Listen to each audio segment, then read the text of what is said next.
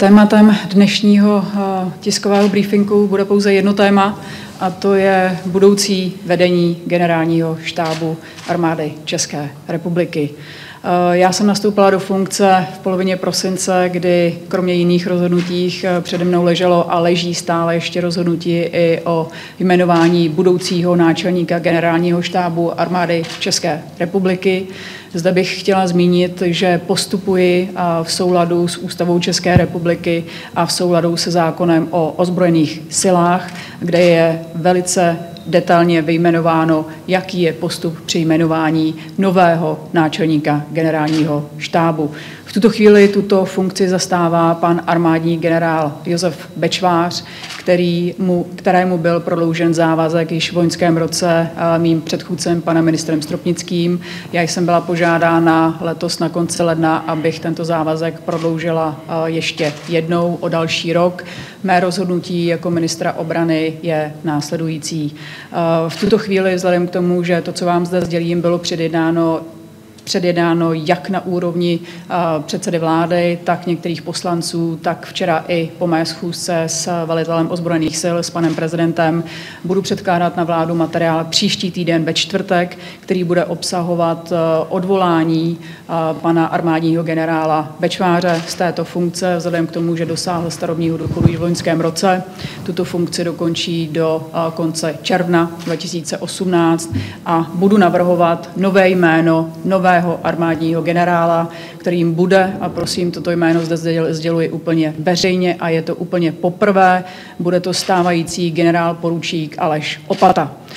Pan Opata má mou maximální důvěru. Je to generál, který sloužil a velel několika kontingentům a v našich zahraničních misích, například v Kosovu, například v Afghánistánu, studoval v zahraničí a co je pro mě velmi důležité a pro mě je to v podstatě klíčová věc, proč jsem se takto rozhodla ve funkci ministrně obrany a to je, že pan generál Opata má respekt vojska, má respekt vojáků a vzhledem k tomu, že jim bude velet, to je pro mě opravdu klíčové. Panu generálovi Bečvářovi bych i vaším prostřednictvím chtěla velice poděkovat za jeho službu státu, naší vlasti, za poslední tři roky ve funkci náčelníka generálního, náčelníka generálního štábu armády České republiky. Já jsem včera po schůzce s panem prezidentem tuto informaci nemohla veřejně sdělit a omlouvám se všem vám, médiím, kteří jste tam čekali, protože jistě chápete, že tato informace z mé strany musela být poprvé komunikováno vůči panu Bečvářovi. Je to slušnost a já dodržuji určité samozřejmě řízení lidských zdrojů. V tuto chvíli příští týden ve čtvrtek na vládě České republiky bude materiál, který bude v souladu, jak jsem již zmiňovala, se všemi zákony České republiky, kde bude navrženo odvolání pana generála Bečváře a jmenování do armádního, do této funkce armádního generála pana Opaty se všemi detaily.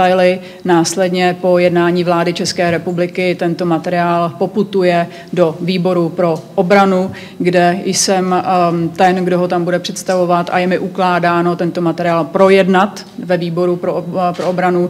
Tím narážím na to, že není povinnost, aby byl schválen nebo neschválen, ale já jej tam musím projednat.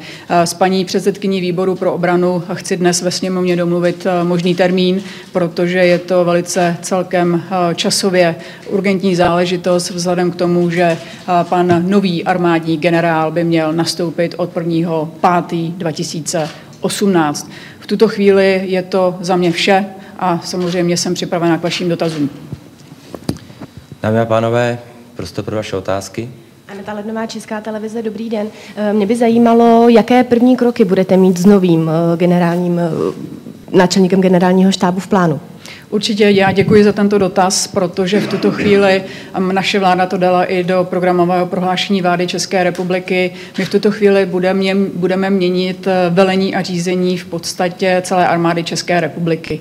Budeme přecházet eh, do úrovní eh, standardů NATO, a to znamená do tří úrovní strategické, taktické, operační. V tuto chvíli máme pouze dvě úrovně a toto je věc, kterou generální štáb v tuto chvíli pod vedením pana generála Bečváře již řeší a úkolem pana generála Opaty bude to dotáhnout. Já budu očekávat v létě druhý výstup, první výstup již mám na stole, budu očekávat druhý výstup a v roce 2019 bych to chtěla postupně dokončit. Je to věc, kde se opravdu bude měnit velení celé armády České republiky, budou se přizpůsobovat eh, samozřejmě jednotlivá velitelství. Ehm, není úplná schoda na jednotlivých návrzích, ale vzhledem k tomu, že jsme členové NATO a já podporuji návrh eh, od generálu, který mi byl představen před dvěma týdny, mají mou podporu v tomto, takže pan generál Opata toto musí dotáhnout. Samozřejmě budu se s ním eh, bavit o velkých akvizicích, které armáda bude potřebovat a vzhledem k tomu, že armáda České republiky má svou koncepci, to je takzvaná koncepce výstavby armády České republiky, která se mění jednou za čtyři roky a ta změna bude v roce 2019, budeme aktualizovat a já samozřejmě v té koncepci chci vědět nejenom nějaká přání, abychom někde něco koupili od dodavatelů, ale já přesně chci vědět, jakým způsobem budeme vybavovat postupně časově a finančně naše vojáky. Další dotaz? Prosím. Dobrý den, Roberto Plk, Mladá fronta dnes. Eh, dobrý den, Roberto Plk, Mladá fronta dnes. Já jsem se chtěl jenom zeptat, co vám na, na to jméno řekl včera pan prezident, když jste mu ho představil. Děkuji. Pan prezident republiky eh, i ve své funkci vrchního velitele ozbrojených sil eh, můj návrh schválil, byl s ním naprosto srozuměn a uvítal ho.